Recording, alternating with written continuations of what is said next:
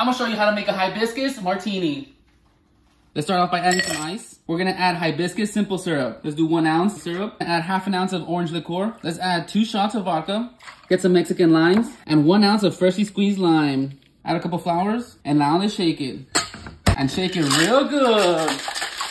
Now let's give it a whack. Now let's pour. Now let's decorate. Grab a few hibiscus flowers, add a lime, and you garnish it. And that's how you make a hibiscus martini. Woo, yeah, yeah.